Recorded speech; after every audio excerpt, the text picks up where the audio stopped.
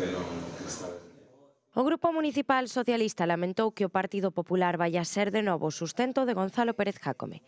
Así o explicou o concelleiro José Ángel Vázquez Barquero. E que vimos ayer en el Salón de Plenos?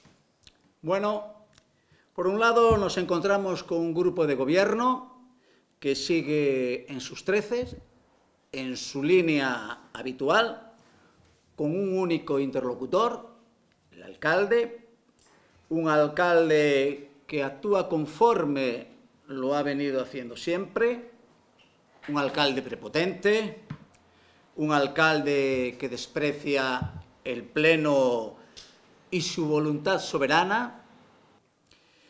El cuarto grupo en discordia es el Partido Popular, que ayer dio muestras claras de que es la muleta del alcalde, como lo fue y todos lo sabemos, en el pleno de toma de posesión, en el pleno de investidura del señor Jacobi.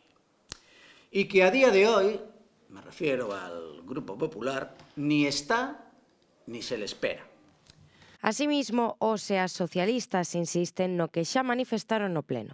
Os populares continúan branqueando as accións de Jácome, mentras despilfarra cartos públicos se salta os procedementos e executa recortes sociais argumentando que non hai demanda de servizos básicos imprescindibles, como é o da conciliación. Pola súa banda, Paco Rodríguez sostivo que o PSDG PSOE de Ourense vai cumprir cos compromisos que estableceu a formación coa veciñanza da cidade durante a campaña electoral.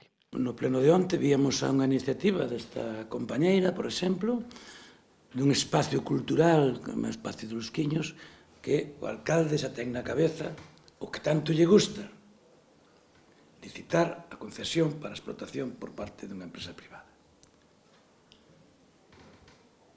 Non creo que faga falta ser excesivamente pícaros para entender o porqué lle gusta tanto a este alcalde eh, concesionar todos os servicios. Outro día escoitábamos que eu querei asustado, que quería poñer unha cafetería no espacio de Ángel Valente. E algo que me doeu profundamente porque...